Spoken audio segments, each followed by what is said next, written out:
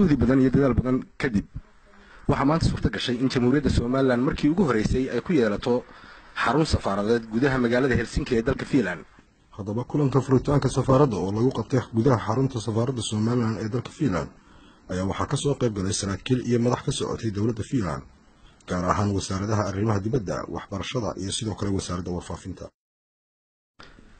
Ugu horreyntii waxaa halkaasi xadhigga lagaga jaray xafiiska safaaraddu ay ka yeelan doonto dalka fiinland waxaana xadhigga ka jaray danjiraha somalilan u jooga dalka fiinland marwe saamiye muuse waxaa iyaguna goobjoog ka ahaa madax ka socotay ururada qurbad joogta ee jaaridaha carabeed iyo hardoorka jaarida somalilan ee dalka fiinland dhammaan madaxdii halkaasi ka hadashay waxay hoosta ka xariiqeen ahamiyadda ay leedahay in la helo safaarad matesha danaha jamhuuriyadda somalilan iyagoo daaha ka qaaday inay tallaabadani horseedi doonto wanaajinta xidhiirka labada dal ee fiinland iyo somalilan waxaana hadalladoodii ka mid ahaa It's a great honor to be here today, and I wish you lots of luck in your work. Paljon onnea uudessa työssäsi, Samia. It's a great pleasure and honor to be invited to the opening of the embassy. It's an important thing for the relationship between the two countries that Somaliland has a representation here and can promote the interest of Somaliland people and promote the mutual understanding and and, and respect. In Finland, most people respect the efforts of Somaliland to show a good example and having a democratic governorship is possible to happen same time. And, and we respect that uh, Somaliland has peaceful progress and, and free elections and, and, and very much development and I think Finland should support Somaliland in the efforts. أيها الأحبة هذا اليوم فعلا نشعر جميعا بالسعادة والفرح لافتتاح هذه السفارة ممثلة بسفيرتها صديقتنا العزيزة الأستاذة سامية موسى سامية موسى كلكم تعرفونها عملت طوال السنوات الماضية من أجل قضية أرض الصومال ومن أجل الأصدقاء والناس والجاليات على اختلاف أنواعها. آه هذه السعادة التي تغمرنا واضحة جدا على آه وجوهكم ونتمنى لها المستقبل الرائع والنجاح في عملها. باسم منظمة المغتربين العراقيين والعرب في فنلندا.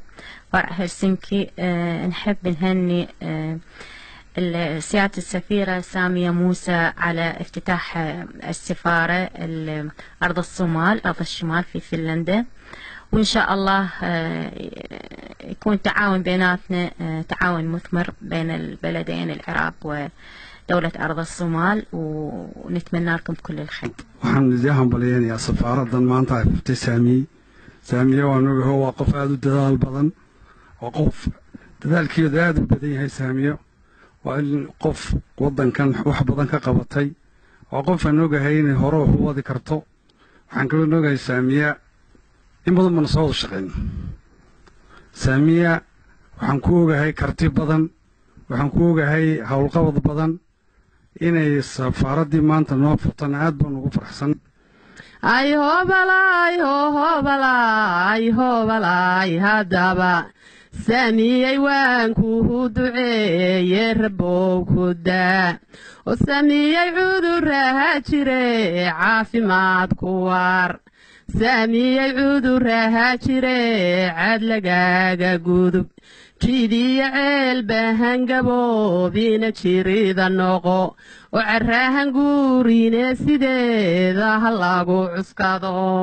Ugu dambeyntii danjiraha somalilan ee dalka fiinland marwe saamiye muuse ayaa halkaasi ka jeedisay khudbad ay ugu mahadnaqday madaxdii ka soo qayb gashay furitaanka safaaradda waxay sidoo kale ballan qaaday inay ka shaqayn doonto howlaha loo baahan yahay in ay safaaraddani wax ka qabato. Waxaa sharaf weyn noo ah inaad nagala soo qayb gashaan furitaanka xafiiska cusub ee safaaradda somalilan oo maanta aan ka furnay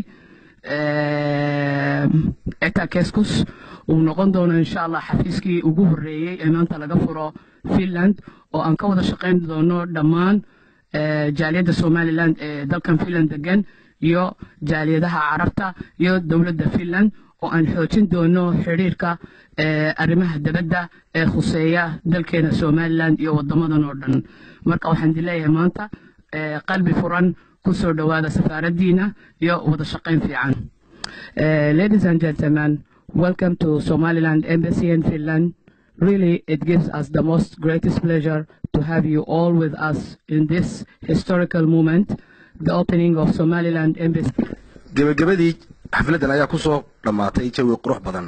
Iyadoo la odhan karo waa markii ugu horreysay ee jamhuuriyadda somalilan ay safaarad ku yeelato cidhifka waqooyi ee adduunyada. Waa cabdiraxmaan cali xasan telefishinka qaranka somalilan finland